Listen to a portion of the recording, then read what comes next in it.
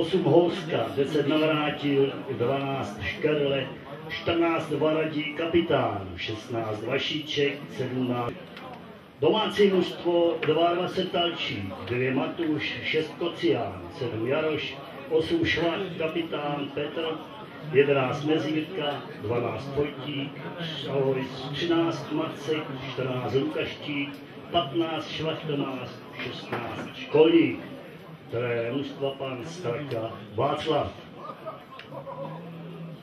Starka Václav samozřejmě. Vladislav, pardon. rozhodčí to více.